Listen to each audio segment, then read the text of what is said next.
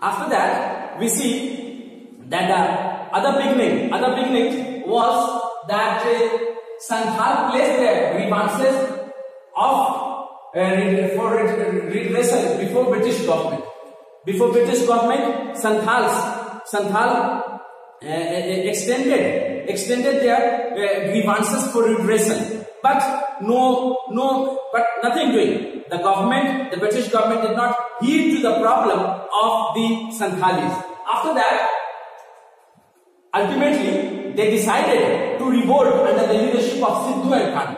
Okay, ultimately we see that they had they had proclaimed they had proclaimed Santhali Santhal Pargana as independent state. As independent state, they had gathered in a field that is known as Bhagnadihi. Bhagnadihi, Bhagnadihi, that with 10,000 10,000 Santhals gathered there at Bhagnadihi field and they proclaimed they proclaimed their region, their area as independent independent state. Okay, and that had taken place on 30th 30th June 1855. On 30th June 1855, the 10,000 Santhalis, they gathered in Bhagnadi uh, field and proclaimed, they are proclaimed under the leadership of Sidhu and Kanu that Santhal Pargana was an independent state. After that, on 7 July, they declared it, they declared it openly that these areas, Santhal Pargana was an independent state. After that, the British rule, British rule came to an end, came to an end after the proclamation. The British government came to an end, came to an end from Birbhum to Munger. From Birbhum to Munger, the British government's administrative system ended from, from these areas. And revolt spread in Birbhum and a part of Murshidabad. Okay, the spread, the movement spread or the revolt spread in Birbhum and few parts of Murshidabad. After that, we see that when the revolt started, when the revolt started against the British government, they proclaimed the Santhal region as their, as their, as the, as their independent state. Okay, so British government also became active and they came with a modern, modern weapon and they, they faced, the, they faced the Santhalis. Santhalis were fighting with the traditional weapons, bow, arrow and all that and ultimately British government, they had, they had, they had, they had suppressed, they had, they had, they had quilled down the Santhal, Santhal rebellion on, on, on, in February 1856. In this, 23rd, 23 Santhals were killed and 14,000 Santhals were jailed and Sidhu and Kanu were hanged. Okay, Sidhu and Kanu were hanged.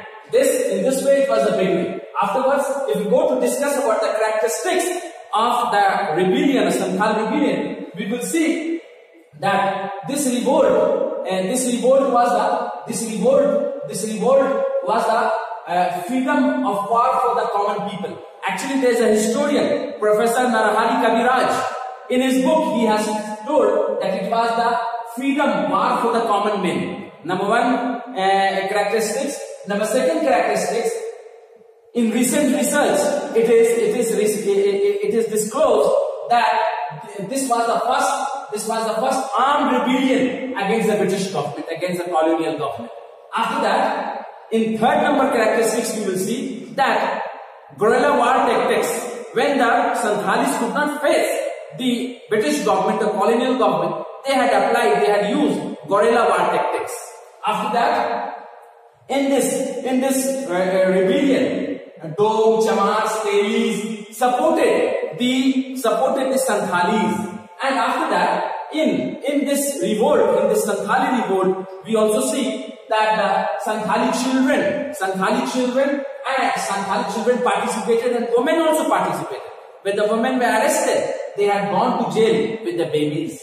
Okay, these were the characteristics. If the question is asked, that what are the characteristics for two marks, then any of these uh, you can write uh, you can write as characteristics. Afterwards, results if you go to see results or impacts of the rebellion. Okay, results or impacts of the rebellion we will see.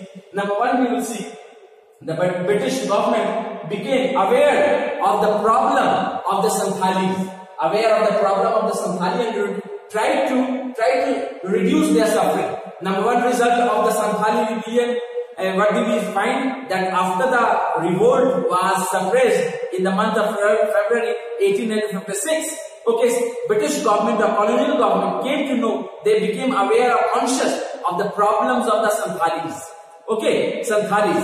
And they had, British government had tried to introduce such acts and laws which would reduce the problems or the issues of the Santhalis. After that, British passed the Forest Act after the Santhali rebellion, after the Santhali rebellion of 1855, British government introduced one act that is known as Forest Act of 1859. Okay, for this, it is said that it is said that uh, said that uh, a few parts, few parts of the Santhal Pargana, few parts of the Santhal Pargana would be reserved for the Santhali people. Okay, would be reserved for the Santhali people. After that, we see that British created Santhal Pargana. After that, after the after the after the after the uh, Santhal revolt, we see that uh, uh, Santhal Pargana was founded by the British government, and uh, this separate this separate state for the Santhals. Okay, this separate state for the Santhal. One feature we see that in that separate state, we see that British British rule would not be implemented or would not be introduced. The, in the in the in the separate region of the Santhal, which is known as Santhal Pargana, over there British rule, a British laws would not be implemented. The law of the Santhals, a Santhali law would be invoked there. After that, after that we will see, we will see that uh, uh, uh, there's a historian by the name of Su, Suprakash Roy. Suprakash Roy has said that this revolt did shake the foundation of the British administration. Administration and that it was the forerunner of the Indian rebellion. Okay, Shiv Kumar, Shiv Kumar, uh, Shiv, uh, Prakash Roy, he said that it, this Santhal rebellion, this Santhal rebellion had shook, shook the very foundation of the British Empire.